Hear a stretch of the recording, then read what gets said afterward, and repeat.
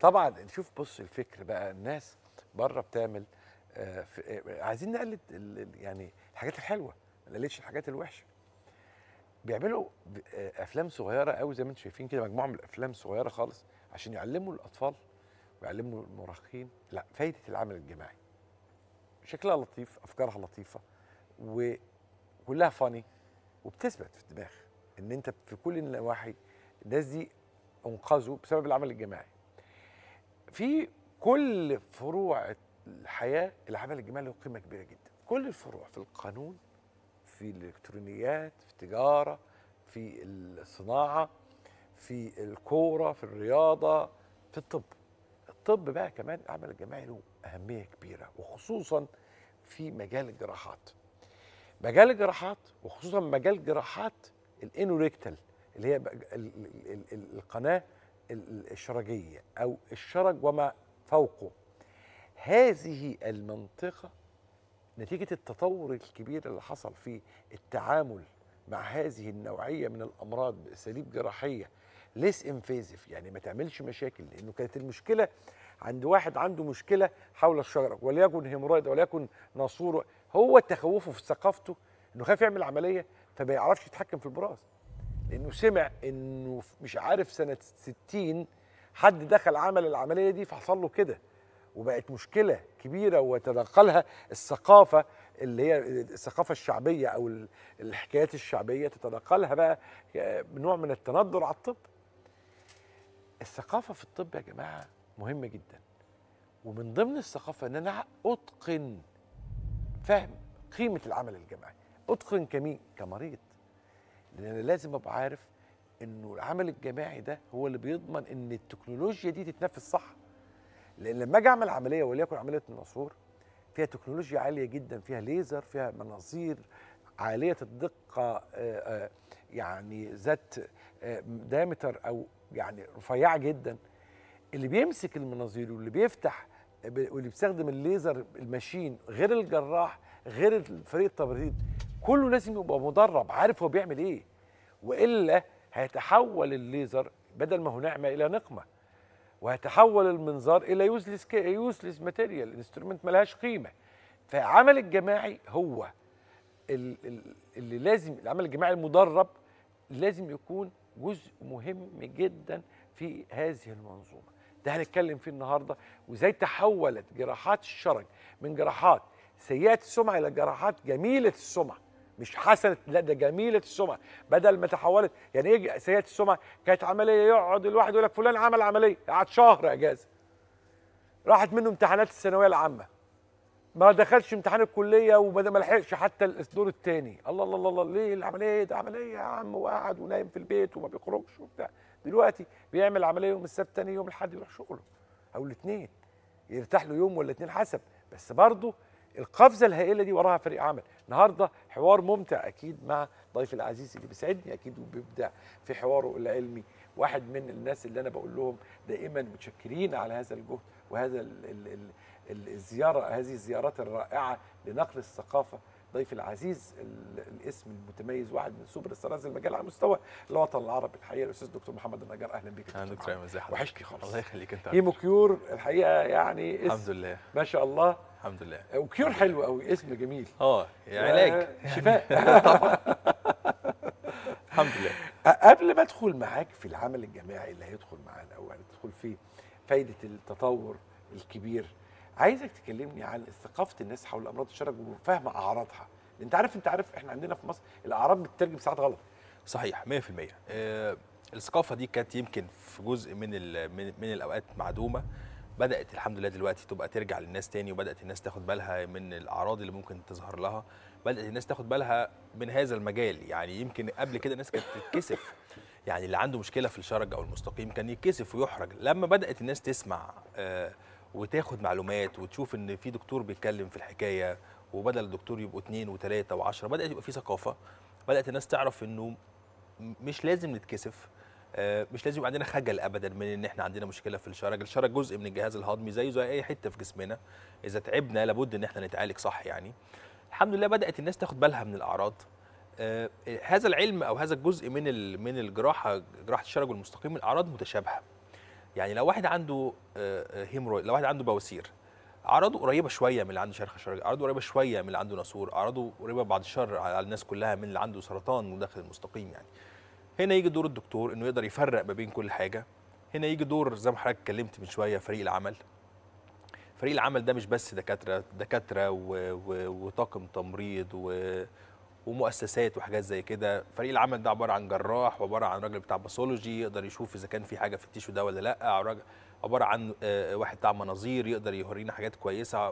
مهندس يقدر يستخدم على الاجهزه الجديده الحقيقة إن فريق العمل ده زي ما حضرتك اتكلمت من شوية حاجة عظيمة جدا. عن نفسي أنا اتعلمت الحكاية دي أنا اشتغلت شوية في ألمانيا في جامعة اسمها إليزابيث كولن في كولن في ألمانيا. اتعلمت هناك يعني إيه فريق عمل؟ إن الجراح بيجي يشتغل آه، العملية بتاعته حواليه عشرة بيساعدوه. حواليه واحد آه، بتاع تخدير شاطر قوي حواليه واحد بتاع مناظير شاطر قوي حواليه ممرضة شاطرة فاهمة هي بتعمل إيه. مساعد شاطر جدا بيوريه يعني قرار ما بقاش قرار فردي بقى قرار جماعي وفي الآخر آه، كل ده بيروح ناحية المريض الحقيقة يعني. الأعراض بقى والتشخيص بتاعها و... و... و... وترجمة الناس للعرض. يعني ناس تقلق إمتى تعرف إن ده عندي كذا؟ آه. يعني خلينا نقول ان جنرال كده آه، إذا كان عندنا آه، مشكلة في الشرج والمستقيم هتتمحور حوالين خمس ست أعراض. إذا كان مريض عنده bleeding per rectum إذا كان مريض بينزف دم إذا كان الدم ده لونه أحمر fresh كده يبقى جاي من القناة الشرجية السفلية أو من الجزء السفلي من الجهاز الهضمي ما لحقش يقعد ولا يتجلط ولا يبقى لونه آه، متغير ولا حاجة. إذا كان الدم ده لونه مغير شوية إذا كان الدم ده متجلط إذا كان الدم ده لونه دارك ريد زي يبدأ يعلى شوية فبدأ ياخد وقت شوية لحد ما نزل. آه، بعد الشر مثلا الناس اللي عندها كبد أو حاجات زي كده يبقى حاجة اسمها ميلينا مثلا إنه بينزل دم لونه أسود خالص يعني. من أهم الأعراض اللي بنشوفها هو الدم. إذا كان عندك دم آه، مرض آه، دم بينزل من الشرج أو المستقيم دي علامة خطر لأنه قد يكون عندك بواسير شرجية مثلا. بواسير هي أوعية متمددة حوالين الشرج زي الاورده اللي في إيدينا دي لكن منفوخة شوية قد كده فيبقى جدارها رقيق. لما ال- البراز يعدي وهو نازل من الشرج راح خابط فيها راح منزل نقطتين ثلاثة دم.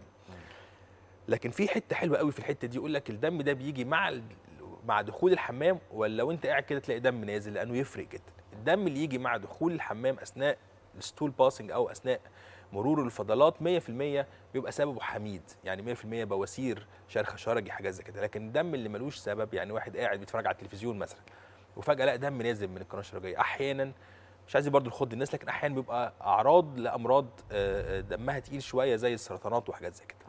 فأول حاجة المريض ياخد باله منها الدم. إذا كان بينزل دم من فتحة الشرج ده مش طبيعي ومش ده العادي أرجوك خلي الدكتور ياخد باله منك لأنه مش ده العادي. تاني حاجة الألم.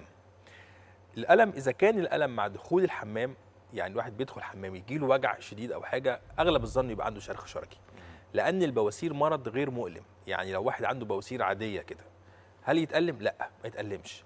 ويكتبوا في الكتب عليها asymptomatic يعني ملهاش أعراض. طب إمتى بقى يبقى عنده بواسير وعمال يتوجع؟ إذا حصل عليها بعض المضاعفات زي التجلط مثلا فيسموها thrombosed pile بواسير متجلطة. أو مثلا آه، بيبدأ درجتها تزيد من الدرجة الثانية للثالثه فتبدا خلاص حاجة تخرج بره فيبقى مخنوقة شوية فيبقى متوجعة. لكن البواسير ما بتوجعش توجع إذا حصل عليها بعض المضاعفات وده علامة آه، تستدعي إن إحنا الواحد ياخد باله أكتر. غير الألم آه، الإفرازات إذا كان واحد عنده discharge ربنا يخلقنا الحتة دي dry يعني مش المفروض الواحد يبقى عنده بلل حوالين فتحة الشرج ما يحسش إن في إفرازات ما يحسش إن في مية ما يحسش إن في حاجات لونها أصفر ولا أخضر ولا كلام زي كده. إذا في discharge في حاجة مش مظبوطة. نروح بقى ونيجي في ال discharge ده نقول إنه قد يكون سببه ناسور شرجي وده الأشيع يعني. قد يكون سببه مش ناسور خالص حاجة اسمها proctitis. proctitis يعني التهاب داخل المستقيم والمريض ساعتها ينزل mucus discharge يعني وكأن حاجات لزجة كده أو حاجة. الأعراض متشابهة. اللي عنده بواسير ممكن يبقى عنده وجع وعنده دم وعنده إفرازات. اللي عنده شرخ شرجي ممكن يبقى عنده وجع وعنده دم وعنده إفرازات. اللي عنده ناسور نفس الكلام. اللي عنده بعد الشر ورم خبيث داخل المستقيم ولا حاجة ممكن يبقى عنده نفس الكلام. مين يقدر يشخص الدكتور وشطارة التكنولوجيا الجديدة؟ كان زمان أو يعني ما أعرفش لغاية دلوقتي موجود ولا لأ كان ال clinical sense في ال examination اللي هو الفحص باستخدام ال- ال fingers كان هو الأساس بالظبط. في التشخيص. هل ما زال ده موجود؟ الحقيقة لأ. آه وده انتهى من ثلاث سنين من النهارده لأنه اخترعوا حاجة اسمها procto station يعني إيه procto station procto من proctology من علم أمراض الشرج و station يعني محطة كاملة أو tower جامد جهاز عظيم جدا يمكن آه، آه، ذو حجم كبير يعني. وظيفته إيه بقى ال procto station ده؟ في ثلاث حاجات. في حاجة اسمها HRA high resolution anoscope يعني منظار مش المنظار بقى اليدوي بتاع زمان اللي كان لازم اللي هو ده بالظبط. tower كاملة جدا الحقيقة. فيها آه، منظار. المنظار ده هيخليني أبص داخل الشرج مش هبص بعينيا بقى ده أنا هبص بالكاميرا اللي بت magnify كل حاجة. اللي هتطلع الصورة على ال monitor الكبير ده على الشاشة الكبيرة اللي عندك اللي متكبرة جدا. لدرجة بقى إنه آه، بره يستخدموا ال procto station ده في إيه بقى؟ في الفحص المبكر عن سرطانات المستقيم. يعني يعملوا روتين خلي بالك مع الحاجات الروتين بقى يعملوها كل سنتين ثلاثة يخش يعمل procto station ده.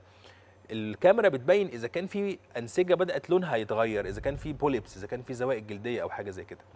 فبقينا كل المرضى اللي يجوا العيادات نعمل ال high resolution anoscope اللي هو المنظار عن طريق الكاميرا اللي بالمناسبة لا يحتاج تخدير ولا في ألم ابدا لأنه حاجة رفيعة جدا.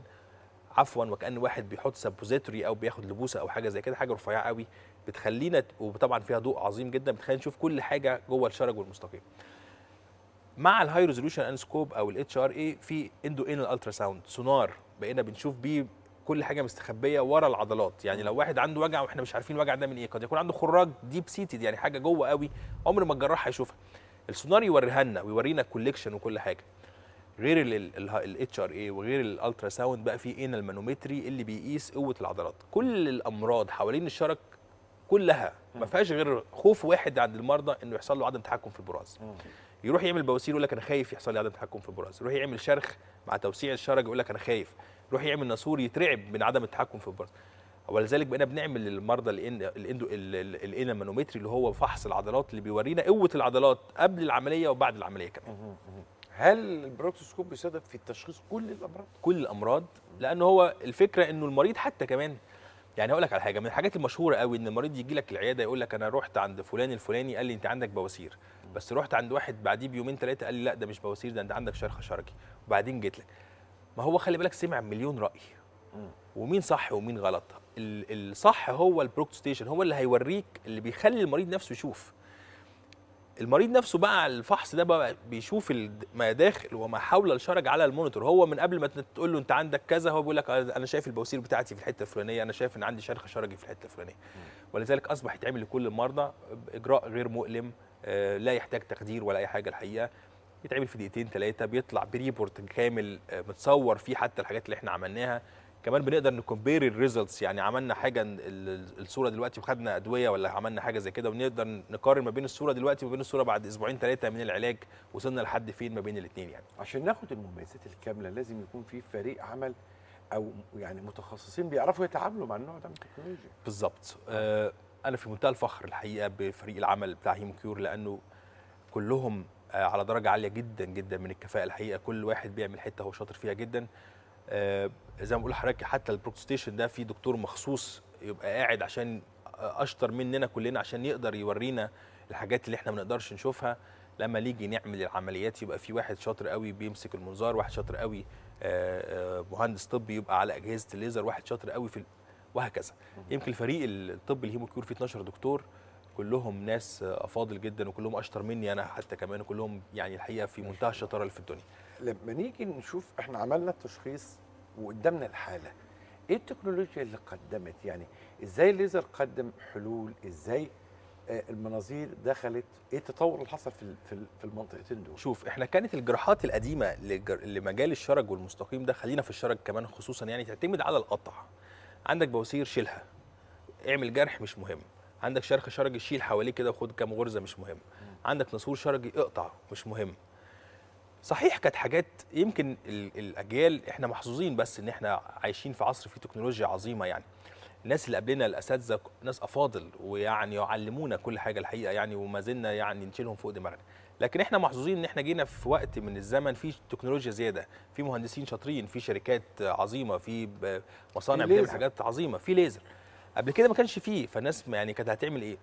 لكن اللي, اللي ناخده على الناس شوية إنه خلاص بقى يعني بقى في حاجات جديدة. البواسير اللي كنا بنشيلها ونقطعها كلها ونسيب المريض عنده جرح قد كده يقعد في البيت شهرين ثلاثة يتعالج منه بقت تتعمل في خمس دقائق تخيل بقى كل ال- ال- الهم ده ما بقاش موجود. زي ما بقول لك كنا بنقطع البواسير بقينا بنكويها فالأمور تنتهي. كنا بنكوي حوالين ال- نقطع حوالين الشرخ بقينا بنكويه تنتهي. كنا نم... لما المريض يبقى عنده الشرج ضيق شوية عنده functional spasm لازم نقطع ال internal sphincter زمان ما بقيناش نقطعه بقينا نعمل sphincterolysis نعمل إراحة للشرج اللي كان عنده ناسور كنا لازم نقطع الناسور ونخاف على العضلات وكلام زي كده بقينا نعمل FiLaC. عصر الليزر ده إيه هو ال FiLaC؟ اللي هو ال fistula tract laser closure اللي هو علاج الناسور باستخدام الليزر اللي هو هيخلينا ما نقطعش الناسور ما نخافش على العضلات هيخلينا نكوي الناسور باستخدام الليزر فالمريض يبقى في أمان تام 100% الحقيقة يعني.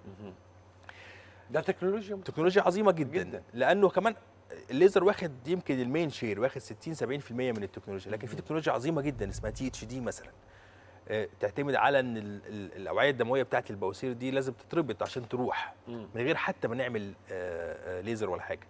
في تكنولوجيا عظيمة جدا اسمها VAAFT. VAAFT اللي هو المنظار اللي بيورينا مداخل ال- الناسور الشرجي أو حاجة. ده ده ده, ده, ده دي كانت جراحات ال ده مريض عنده بواسير مثلا. إحنا آه. إحنا دلوقتي بقينا بنخش بالليزر كنا زمان نقطعها دلوقتي ما بقيناش بنقطع حاجة بقينا بندخل جوه ال piles ونحرقها بالشكل اللي حضرتك شايفه ده تنكمش وتروح تماما من غير ما نعمل للمريض جرح ولا raw area ولا حاجة. وبالفعل إذا كان المريض عنده بواسير زي دي تاني يوم يروح شغله إذا والناسور عايزين نشوف الناسور بالليزر طبعا ده مهم جدا. بالظبط. اللي, اللي انت قلته دلوقتي ده اللي هو اسمه FiLaC FiLaC ده اختصار حاجة طويلة. آه fistula؟ tract laser closure. آه fistula tract laser closure. closure اللي إحنا آه. هنقفله. ده حاجة من الحاجات العظيمة قوي اللي هو ال VAAFT اللي هو المنظار اللي بيدخل جوه الناسور اللي ياما قعدنا نحلم إن إحنا نفسنا نشوف جوه الناسور ده إيه بقينا بنشوفه. بقينا بندخل جوه ال tract. أنا فاكر حضرتك قلت لي كلمة زمان الحقيقة وأنت بتعرف ناسور الشرج قلت لي ده سرداب ده حاجة زي السرداب آه.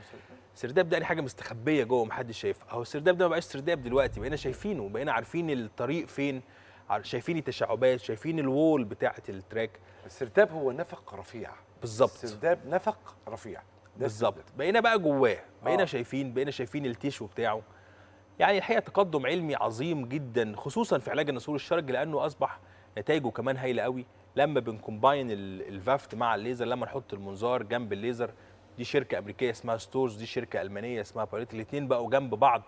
يعني الحقيقة يعملوا آه، نتائج عظيمة جدا. التكنولوجيا ملهاش آخر ابدا في علاج أمراض الشرج والمستقيم. وكل يوم بنلاقي حاجات تخلينا نبعد آه، المريض عن أي آه، أي حتة فيها خطر. هي الفكرة زي ما بقول لك إن الأمراض دي زمان كان فيها خطورة في عملياتها. الخطورة دي بقت zero. يعني بقى المريض يعمل عملية وأقول له أنت 100% مش هيحصل مضاعفات. الألم ما بعد العملية نقول لك أنت ما عندكش ألم لكن هل الألم نروح ونيجي فيه؟ آه. ممكن نعمل مريض ويتوجع يومين ثلاثة وأنا أقول له ده مش هتوجع في مريض نعمله ويتوجع ساعتين ثلاثة لكن اللي ما فيهوش كلام ابدا ال safety اللي ما بيحصلش اللي ابدا شفناه هو دلوقتي ده اللي إحنا شفناه دلوقتي ده المنظار. المنظار اللي اللي هو اللي إحنا كنا بنشتغل بيه دلوقتي. اللي هو بالظبط اللي إحنا آه. بندخل بيه جوه ال tract آه اللي هو بيورينا الم- المليهات الصغيرة اللي كان مستحيل نتخيل أو نحلم إن إحنا بنشوفها نبقى عينينا. جوه ال tract آه،. جوه الناسور الناسور الليزر اذا كان بيدخل آه، لما نشوفه دلوقتي الليزر وهو بيتعامل مع الناسور هيمشي في الناسور ويحرقه من جوه بس مش بس شايفين مش كان شايف مش شايف مش شايف. بس يعتمد عشان الناس على- متخيلة يعني إيه. فلاك بالظبط. يعتمد على خبرتك انت. مهم. يعني على الجراح وهو بيسحب بالملي وحاجات زي كده. ده إحنا دلوقتي بقى بقينا بنشوف وإحنا بنحرق. يعني خلي بالك هي اللي داخلة دي اللي هي القسطرة بتاعت الليزر. فبقينا شايفين وإحنا داخلين. لو في حتة آه، أنا ما خدتش بالي منها وأنا بحرقها تبان لي قوي بقى في الكاميرا إن أنت ما حرقتش كل حاجة فقد يكون ده سبب لارتجاع الناسور. فخد بالك لازم تحرق الحتة دي تاني. اذا combination صعب ما بين آه، يعني combination محتاج آه، يعني آه، ادي ادي الليزر اهو داخل كان. بالظبط ده ده ده تكنولوجيا لوحده. بالظبط آه. فمش مش بس تكنولوجيا واحدة بقى ده انت وفرت للمريض كل التكنولوجيا اللي في العالم. آه. خلي بالك إحنا كان عندنا آه، خبير ألماني الحقيقة من الشركة بتاعه الليزر. على فكرة دول شركتين يعني دي ألمانيا اللي على اليمين دي ألمانيا ودي واللي على أمريكا. الشمال أمريكا. بالظبط دي شركة ستورز. كانوا بيحاربوا بعض في يوم من الأيام. بالظبط يعني. بالظبط صحيح. لا ده كانوا بيحاربوا بعض كبلاد بالظبط بالظبط. دلوقتي شوف بيعملوا combination تعاون علمي بالظبط. على ارقى مستوى وهو ده قيمة الأبحاث العلمية وهو ده قيمة فعلا يعني قيمة الإنسانية. العلم بيقرب ال ال يعني ال 100%. كانوا بيفنوا بعض. بالظبط. أمريكا كانت بتفني ألمانيا بتفني. دلوقتي بقى بنشتغل سوا. آه. يعني بقينا أنا بقدم أنا شاطر قوي في تصنيع المناظير فعملت المنظار اللي هو ال VAAFT وأنت شاطر قوي في تصنيع اجهزه الليزر فعملنا الحاجتين مع بعض اللي يخدموا المريض. أنا بقول لك إحنا كان عندنا قريب آه، خبير كده من المانيا الراجل انبهر بانه هو جاي فاكر إن إحنا بنستخدم الليزر بس فلما دخل وشاف ال machines والأجهزة وحاجات زي كده الراجل انبهر إنه ما شافش في مكان إنك واخد كل حاجة حلوة من كل حتة يعني أكنك واخد ال- التطور الأمريكي كله في. في شركة ستورز واخد التطور الألماني كله في شركة Biolitec واخد الشركة الإيطالي كله في ال THD مثلا procto station مثلا يعني procto station ده بالمناسبة لأن أنا بحبه جدا الحقيقة. procto station ده واحد ال procto station ده كان موضوع الحوار بتاعنا. بالظبط. خلي بالك يعني- هو واحد من أربع أجهزة في الوطن العربي. ما شاء الله. يعني ال... الت... محطة التشخيص. الوحيد اللي في مصر بالمناسبة وكانت بالمناسبة جامعة عين شمس هتشتريه لكن ال- ال- المشاكل في الميزانية وحاجات زي كده وقف الموضوع عندهم. عندنا في في في هيمو كيور وموجود في دبي في مستشفى في دبي في مستشفى زليخة وموجود في بلدين كمان جوه الوطن العربي أربعة جوه الوطن العربي. في في إيطاليا وفي ألمانيا منتشر شوية لكن جوه العربي أربعة أربع أجهزة بس. أجهزة تشخيصية. تشخيصية بس ما بتعملش حاجة ما بتعالجش آه. حاجة. على فكرة دايما بيبقى في بخل في الأجهزة التشخيصية. بالظبط. ما بيعالجش. آه لأنه أنت بتعمل إيه؟ يعني بص تلاقي إيه؟ أصرف يا عم على الليزر لأنه أنا هعمل بيه العملية. بس ما أنا. هشخصه. بالظبط. ما أنا ه- طب أنت عارف المقارنة فين؟ آه، اتنين دكاترة. واحد شاف المريض لمدة ثواني وقال له أنت عندك بواسير. وإحنا قعدنا ربع ساعة نشخص المريض بالأجهزة والصور وكل حاجة وفي الآخر إحنا قلنا له إن عندك بواسير صحيح. لكن أنا متأكد هنا إنه ما عندوش حاجة غير البواسير وهنا هو مش متأكد. هو خايف يكون عنده حاجة تانية أو حاجة يكتشفها جوه العمليات أو حاجة زي كده. هي دي بقى قيمة التطور وقيمة إنك يعني بتسعى الحقيقة للحاجات الجديدة كلها. أنت النهارده أسعدتني سعاده الله يخليك. النهارده اتفسحنا فسحة جميلة جدا. صحيح في عالم يعني فسحة جميلة. يعني النهارده على فكرة الحوار كان بدون ترتيب. إحنا النهارده كنا صحيح. هنقعد نتكلم في ال procto station. لقيت إن ال procto station ده يعني أسال لعابي العلمي في إن أنا أشوف بقى إيه اللي وراه شخصنا يا سيدي ماشي. الليزر. الليزر يعني أبهرنا. قلنا لا ندخل ورا الليزر نشوف فيه إيه. طلع ال- كمان الطمع مش إن أنا أعمل الليزر عمياني ب- ب- ب- بالظبط. ب guide بمتتبع اللي هو. الخيط الأزرق اللي نشوفه لا. ده أنا هشوفه بمنظار ده أنا بقيت شاطر قوي في الحاجات دي. جدا. والله كل تخصص يقولوا لي انت بقيت صحيح جدا والله. أنا منبهر يعني والله. الأسنان يا باشا والله. عارف. بقيت بقيت أعدل عليهم وخطة على جاي أنا عارف أنا عارف. بروقهم في الأسنان. رغم إنها كلية طب تانية خالص. صحيح.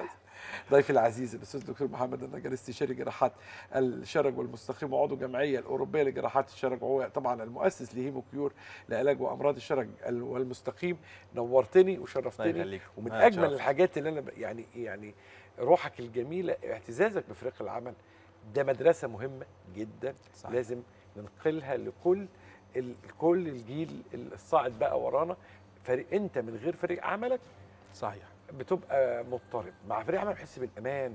اعتزازك بفريق عملك ده مهم جدا واختيارك له مش موضوع سهل. ده موضوع عايز تركيز شديد جدا صحيح. جدا. خليكم مع الناس الحلوة. الضربات بتبقى منتظمة ومتناغمة عشان نقدر نحصل على أكتر كمية ضخ للدم على قد ما بنحتاجه. بعض مشاكل كهربة القلب قد تكون قاتلة والبعض الآخر خطير. والبعض الآخر ليس قاتل وليس خطير. واللي إحنا شايفينها طايرة ديت دي جلطة اتكونت في الأذين نتيجة عدم ضربه. إن هو ما بيضخش الدم اللي فيه بقى بيرعش الدم اللي فيه متكوم وبالتالي ممكن نتعمل جلطة والجلطة تطير وتروح للمخ وتعمل آه انطلاق. نفقد بقى إيد نفقد رجل نفقد آه بق يتعوج وهكذا